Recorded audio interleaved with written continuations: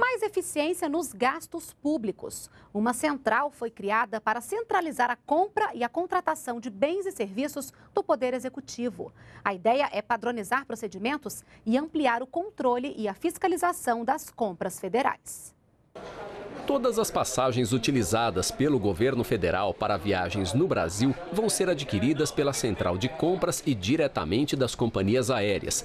O sistema desenvolvido pela central busca os melhores preços diretamente nos sites das principais operadoras de voos nacionais. O projeto piloto tem como base as compras de passagens do Ministério do Planejamento. O sistema deve garantir maior possibilidade de fiscalização e economia nas compras teremos um ganho de uma economia bastante grande, um controle, uma gestão que hoje nós não temos.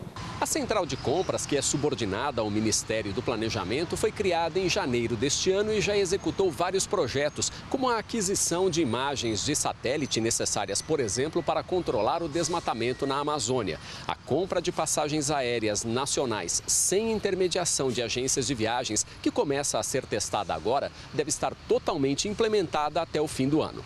A central de compras vai ser responsável pela aquisição de bens e contratação de serviços de uso comum aos órgãos da administração direta do Poder Executivo, como trabalho de portaria e material de expediente. Além de eu trazer o que tem de melhor, eu vou ter um preço, mais, um preço menor, uma qualidade muito superior.